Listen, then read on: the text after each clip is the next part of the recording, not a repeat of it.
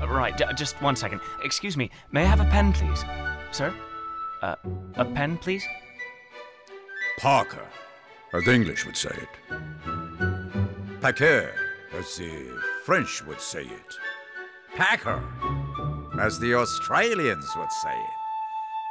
Paquet, as the Japanese would say it.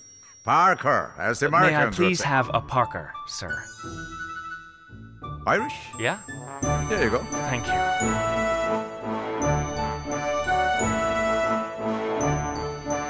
Parker, what the world calls a pen.